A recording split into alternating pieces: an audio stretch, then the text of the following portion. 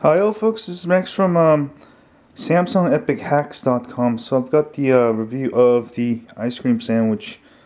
Um, sorry, I've been kind of a little bit sick, so I've been a little bit behind here. But um, hey, uh, there's MathKid95. Um, anyway, this is the um, Android 4.0.3 CM9 for um, Epic 4G.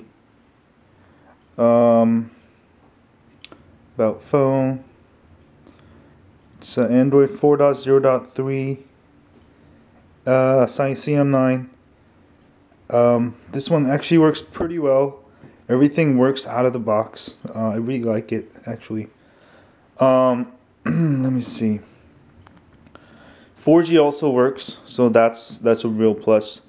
And also the camera works, which is a nice thing.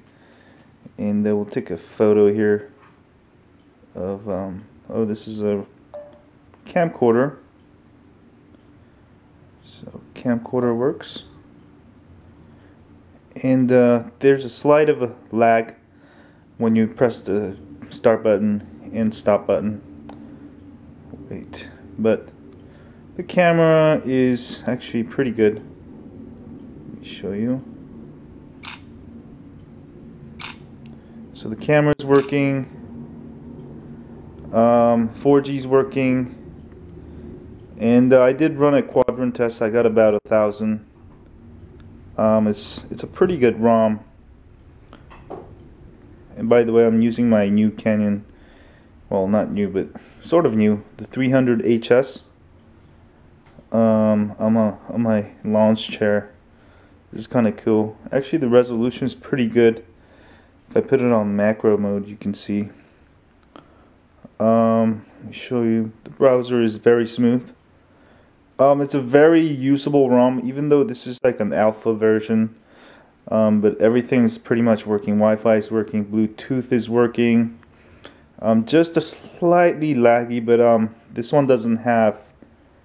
Uh, let me see here. No. No Wi-Fi. Uh, no overclocking. But you can go to performance. Okay um, processor and I've got it set it at X, and maximum frequency is only 1 gig. But I think um, in the future we should have a uh, overclockable kernels. And maybe if you can run it at 1.2 or 1.4 gigahertz overclocked it should run much smoother. But I mean just by itself it's actually pretty smooth. Other than that it's a full ICS experience you can get. Um, let me check the, uh, let me check if there's face unlock real quick. Is there face unlock? Oh, there isn't face unlock. So let me set it up real quick. Here. Uh-oh, there we go.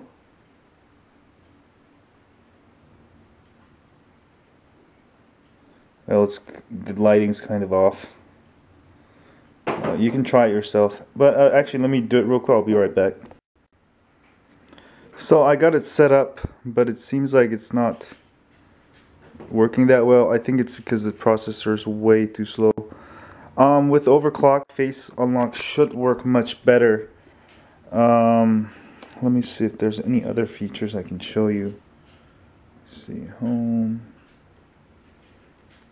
Let me see. Um, other than that, it's you know it's a pretty complete ROM. It can be your daily driver. There's a slight of lag, but um, definitely it's not going to be slower than the Froyo or you know maybe just a tad slower than Gingerbread Overclock. Um, but check it out. You just got to zip the two files, um, the CM9 zip file, and then after it reboots, you can get back into um, Clockwork Mod Recovery, holding down the power button, reboot, and then you can choose Recovery to reboot into recovery and flash the G apps, the Google Apps file, and you should be all ready to go. But um, this is actually uh, looks a lot better than the um, the CM9 ICS ROM I reviewed on Epic 4G Touch, which is surprising because this is an older OG phone, um, O Gangster. Anyway, check it out. Um, that was review of the CM9 ICS ROM for um, Epic 4G yeah. Oh yeah. And subscribe. and see y'all later.